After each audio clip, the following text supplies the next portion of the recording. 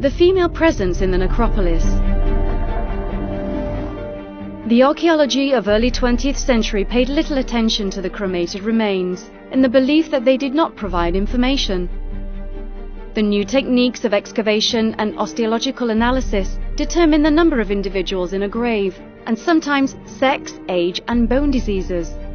The few existing studies confirm that in the necropolis is only buried a part of the population, perhaps the upper class, and, although the data are partial, it was found in the necropolis analyzed that there are more male than female remains.